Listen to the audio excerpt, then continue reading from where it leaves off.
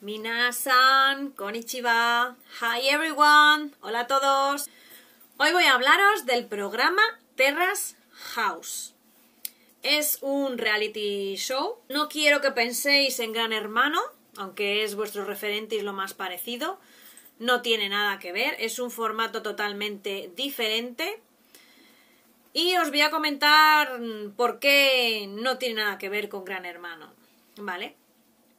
Aquí se proporciona un, hogar, una vivienda y dos vehículos para seis personas. Suelen ser, tienen que ser tres chicos y tres chicas, con edades comprendidas entre los 18, 35, 40, no estoy muy segura. Y ellos eh, pueden llevar su vida mm, normal. Es decir, ellos tienen la casa para convivir, pero les proporcionan vehículo porque ellos pueden seguir trabajando, estudiando y saliendo de la casa. La casa simplemente es para convivir entre ellos, es el lugar de residencia, pero no están encerrados. También tiene otra particularidad que lo diferencia de Gran Hermano, y es que no hay un ganador, no son concursantes, ¿vale? Son habitantes de la casa. Eh, pueden crear eh, lazos de amistad, eh, pueden crear situaciones familiares pero no hay rivalidad, porque ellos no luchan por un premio, simplemente conviven ahí. Viven ahí, pero hacen sus vidas. Siguen haciendo sus vidas. Es verdad que no hacen sus vidas normales, pero siguen yendo a trabajar, siguen saliendo con sus amigos, pueden incluso ver a sus familiares. Tiene mucha más libertad, no tiene eh, ese morbo, esa esas características del gran hermano, ¿no? De privar de privarte de, de la libertad, de encerrarte con desconocidos, pues para llevar al extremo tu, tu personalidad o, tu estrés, ¿no?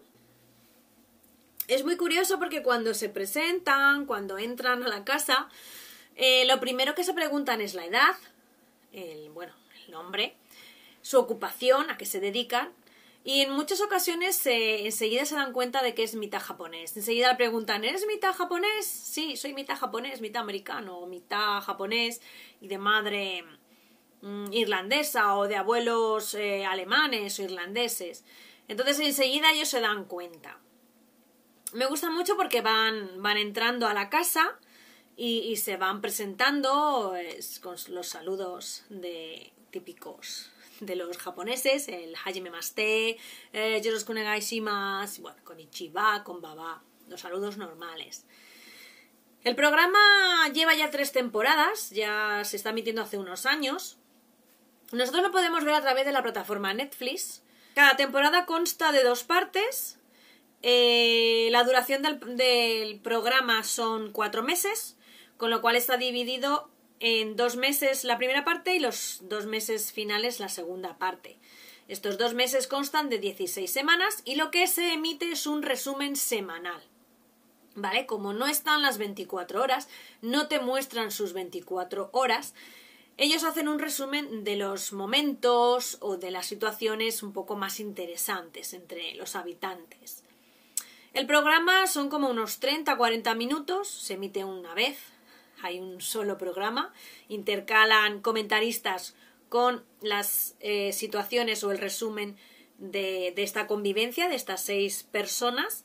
Entonces se va intercalando cada 5 o 10 minutos, eh, son eh, imágenes de los habitantes y otros 5 o 10 minutos son los comentaristas hablando y bueno, pues así lo van intercalando el programa. Los comentaristas suelen ser siempre los mismos, a veces incluyen una persona nueva, joven, eh, suelen ser también tres chicos y tres chicas.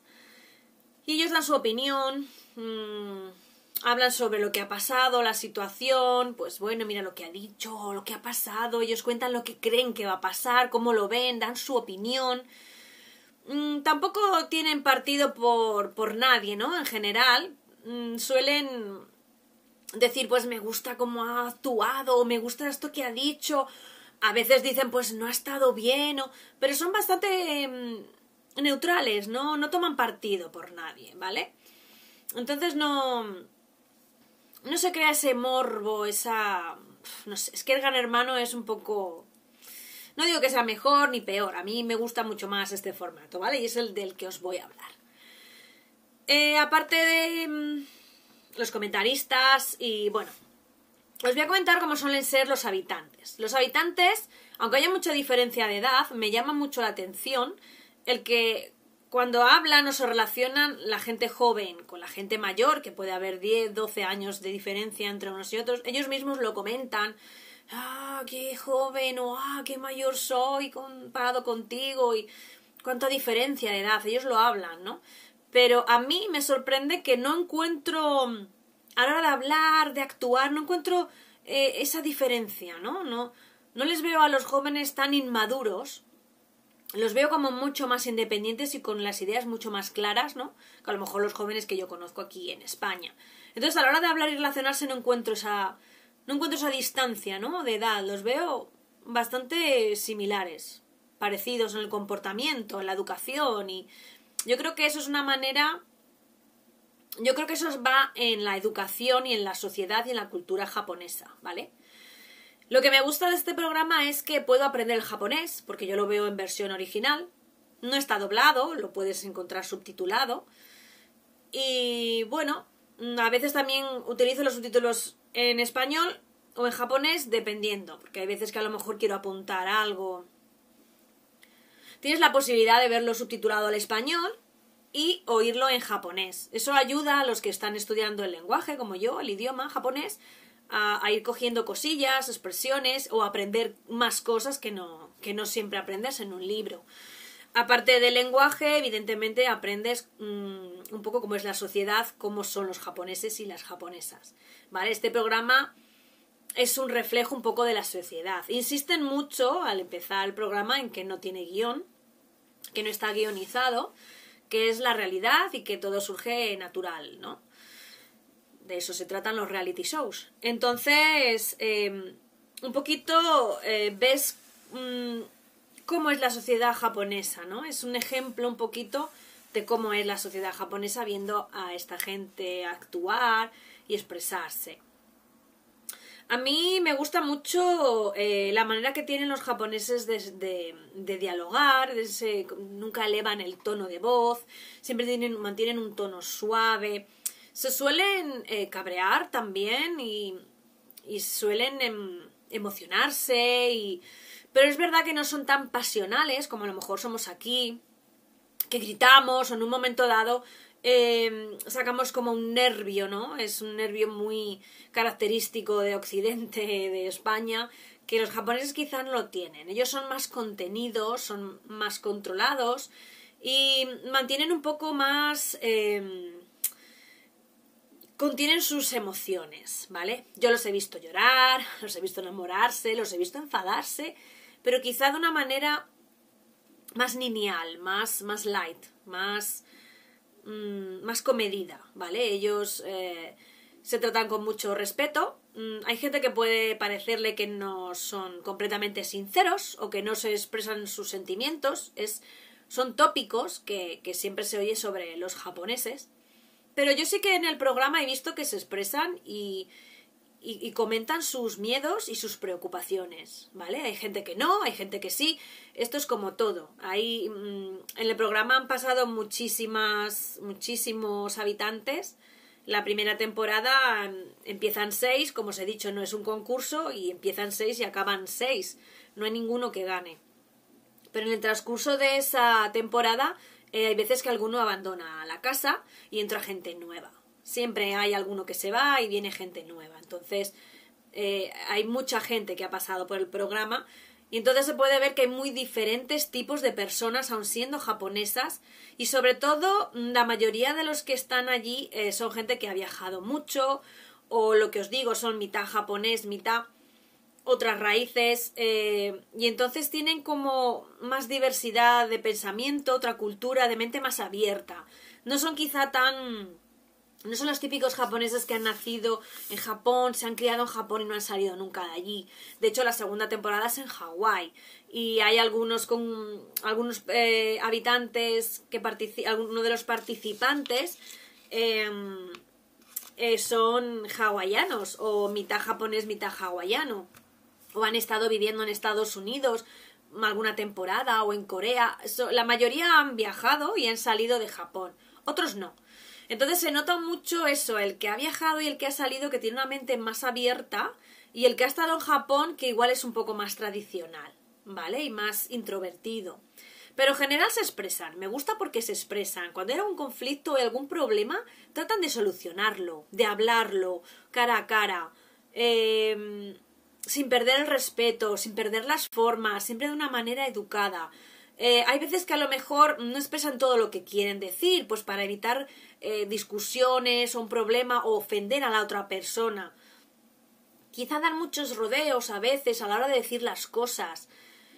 Pero a mí me parece bastante prudente y bastante sensato por, por su parte. Me hace mucha gracia que le dan mucho, mucha importancia al tema profesional. Siempre les preguntan a los jóvenes a qué se van a dedicar, qué metas tienen en la vida. Los japoneses en general, por lo que tengo entendido y por lo que he visto en esta serie, eh, ellos se marcan una meta, se marcan un objetivo y después siguen el camino que les va a llevar a esa meta, ¿no? Siempre esforzándose, siempre trabajando, siempre con esa preocupación de que se tienen que esforzar, de que lo tienen que hacer bien. Y eso eh, les importa mucho, muchísimo, porque hay ocasiones en las que alguno de los participantes no tenía muy claro lo que iba a hacer, estaba un poco, tenía dudas, y les ha preocupado muchísimo al resto, ¿no? De eh, tienes que buscar eh, una meta o qué vas a hacer, tienes que decidirte.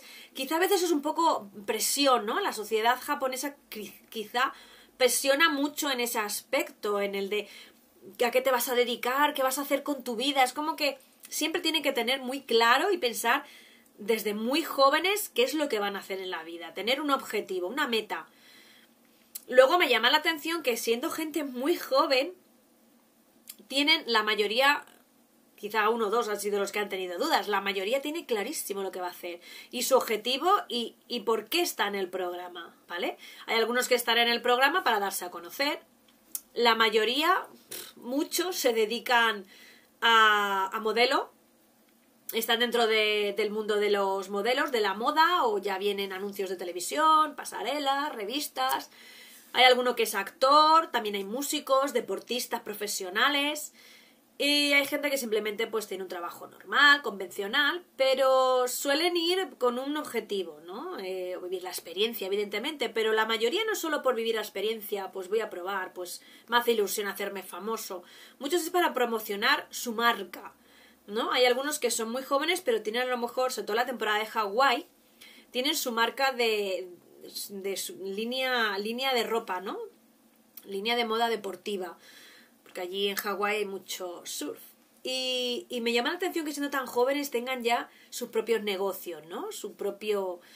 También es verdad que en Japón es más fácil dedicarse a lo que a uno le gusta. Muy bien, yo eso lo veo, lo veo bien, ¿no?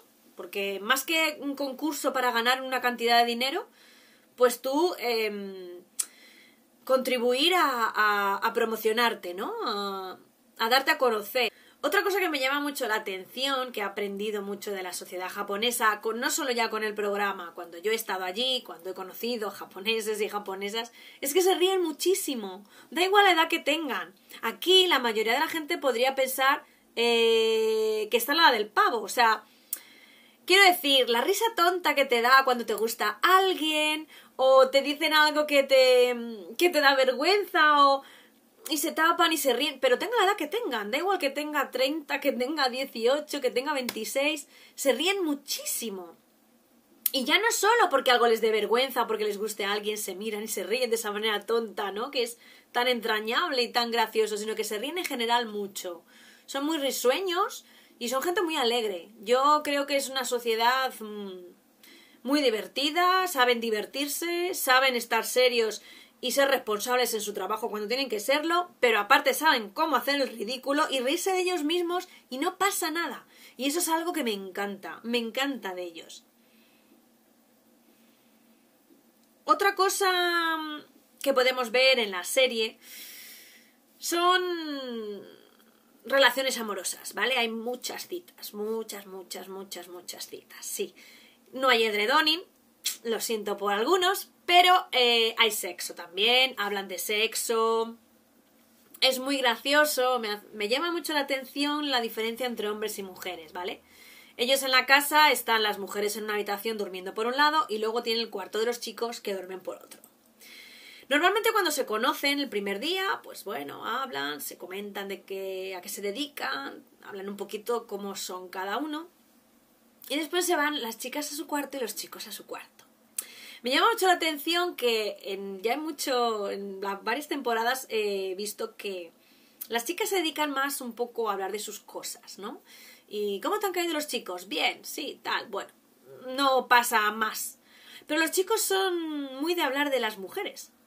Y me hace mucha gracia porque enseguida se preguntan, ¿qué te han parecido las chicas? Ah, pues son muy guapas. ¿Y has visto qué tetas tiene esta? ¿Y tú crees que podría llegar a algo?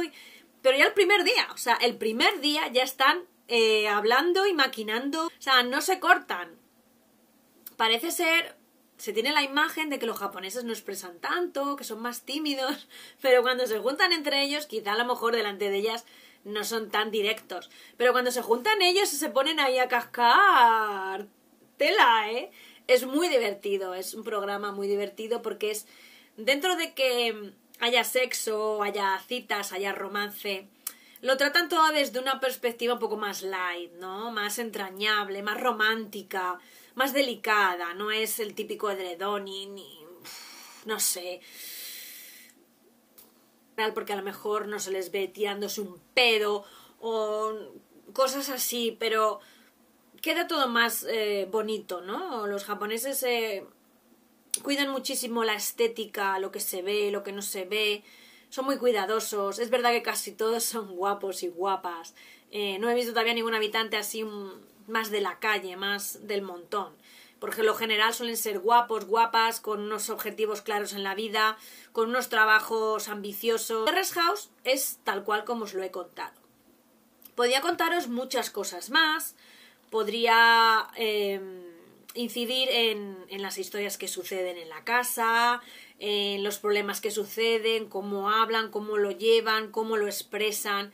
Podría contaros mucho más, ¿vale? Pero bueno, os he querido decir así una, general, una breve, no sé si será muy breve, introducción del programa. Ahora mismo se está emitiendo la tercera temporada, que es en, en Nagano, no os he contado, bueno, la primera es en Tokio, la segunda es en Hawái y ahora es en Nagano, ¿vale? Son diferentes escenarios. Tokio es una ciudad pues que tiene frío y tiene calor. Hawái es un escenario de playa, de salir muchísimo, salen mucho en bikini, en bañador, tienen cuerpos cuidadísimos y muy cultivados, ya os lo digo. Y luego ahora están en Nagano, que es un sitio de montaña, al norte, de nieve, de más frío. Y bueno, pues es diferente, ¿no? Todo, cada casa cambia, cada lugar en el que están cambia y las personas también, con lo cual no es siempre lo mismo. Cambia muchísimo, de verdad. Es muy interesante el programa y yo si queréis hago más vídeos explicándoos eh, las relaciones que surgen entre ellos, los problemas, las cosas que pasan en el programa, os lo puedo contar si queréis, porque hay mucho para contar. Incluso de lo que ya he visto de esta temporada, que está siendo muy interesante todo lo que está pasando ahí. Y está habiendo conflictos y estoy viendo actitudes de japonesas y de japoneses que yo no sabía que existían. Os lo vuelvo a repetir, tenemos una idea quizá un poco equivocada de cómo son los japoneses y las japonesas, y a veces me sorprendo porque hay cosas que digo, sí, ves, es que respetuosos, que ellos son así. Pero hay veces que digo, wow, no pensaba que ellos eran así, ¿no? Y de verdad, tienen opiniones totalmente diferentes. Es increíble cómo la sociedad ha cambiado tanto y cómo puedes encontrarte una mentalidad muy tradicional que choca con otra mentalidad que no lo es. Y ahí surgen conflictos y surgen, surgen cosillas ahí. Luego hay muchos besos y muchas citas muy bonitas. Los chicos os voy a comentar cómo son un poco las citas, ¿vale? Los chicos, eh, hay veces que el primer día se conocen y ya os estaba comentando que empiezan a hablar, ¿cuál te gusta? Esta me gusta porque me gustan con tetas grandes. ¿Y cómo te gustan a ti las tías? Pues me gustan así, a veces hablan del físico y otras veces de la forma de ser. Las chicas igual, pues me gusta que me traten bien, pues me gusta que me, que me manden o que me tal. Bueno, cada una da su opinión. Pero al día siguiente hay muchos que empiezan a pedir citas, empiezan a salir. Hay algunos que salen con todas, a ver qué es lo que surge o qué es lo que pasa. Y es muy, es muy divertido porque ellos se lo curran mucho, ¿vale? Las chicas, hay algunas que sí, que son muy atentas y preparan la comida o preparan un picnic, preparan cosas, pero ellos se lo ocurran muchísimo, ellos se lo ocurran mucho y a ver dónde la voy a llevar y cómo la voy a llevar y que sea un sitio que le guste. Luego hay veces que las citas no llevan a nada, pero me hace mucha gracia una cosa y es que ellas siempre eh, siempre dicen que sí. O sea, ellos suelen ser los que planean las citas, los que piden la cita. A veces también son ellas, ¿eh? No os penséis. Pero me hace mucha gracia porque... Mm, bueno, ni ellos ni ellas nunca se niegan. La primera cita siempre dicen, sí, sí, pues vamos a comer. ¿Te apetece venir mañana a cenar? Tal, aunque haya sido el día siguiente de entrar en la casa. Eh, aceptan la cita fácilmente. O sea, siempre dicen que sí. Si ya no les gusta o no se sienten a gusto, pues ya, mm, pues no ponen excusas, simplemente dicen no, no me apetece o no puedo o no creo que debamos salir o preferiría salir en conjunto, en grupo. O sea, ellos expresan eh, lo que sienten realmente, ¿no? No veo tanta falsedad como dicen de que no se expresan, de que no cuentan. Y si hay algún problema entre ellos, enseguida lo intentan solucionar y lo expresan bien. Yo. Por eso me sorprende porque veo actitudes y cosas que se supone que no son las que yo he visto, las que me han contado, ¿no? De la sociedad japonesa. Pero claro, es lo que vuelvo a repetir. Hay gente que ha viajado mucho, que ha vivido temporadas en otras ciudades, en otros países, y eso es gente con la mentalidad más abierta. Igual los japoneses japoneses todavía tienen una mentalidad más cerrada. Pero bueno, lo dicho. Si queréis, le dais al like y sigo haciendo más vídeos comentando ya cosas más en profundidad de, de la serie. Y si no, pues aquí queda. Si queréis verlo, yo os lo recomiendo. Está muy bien, es mm, muy entretenida. Y a veces puedes desesperar, ¿vale? Hay que tener paciencia, os lo aviso, porque no quiero que pongáis a verlo y digáis, vaya rollo. A veces hay que tener paciencia porque nosotros estamos acostumbrados a las cosas directas, a cosas muy rápidas. Y es verdad que hay veces que en el programa le dan muchas vueltas a las cosas, reflexionan demasiado y te dan agobia, te dan ganas de decir, por Dios, hazlo ya y que, que sea lo que Dios quiera. Arriesgate, lánzate. Sobre todo en esto, ¿no? En lo de las citas y en las relaciones amorosas. Quizás, sobre todo las chicas, lo, bueno, algún chico también reflexiona mucho de cómo irá, de si en la distancia va a funcionar, si voy a ser capaz de hacerle feliz, si esta persona me va a gustar, si va a funcionar, si va a ir bien, si vamos a durar. A ver, mm, por favor, mm, para son demasiado reflexivos, lo piensan todo mucho, porque le dan mucha importancia a las, a las relaciones. Quizás no son como nosotros que nos lanzamos y luego ya vemos si va bien o va mal. Ellos lo piensan mucho. Y eso no estoy del todo de acuerdo con ellos, porque no porque te lo pienses mucho o lo tengas muy claro, la relación va a durar o va a ir mejor. No, yo creo que las relaciones van bien o van mal, eh, vayas muy rápido o no vayas rápido, te lo pienses o no te lo pienses. Las cosas son como son. Entonces muchas veces es mejor no perder tiempo y probar y mirar y entonces ya descubres lo que es. Pero bueno, eso va en cada uno, lo vuelvo a repetir. Puedo hacer más vídeos y si no, pues mm, el que quiera verlo bien y el que no, pues nada. Yo seguiré haciendo vídeos, así que nos vemos en el siguiente. ¡Matane! ¡Tayonara!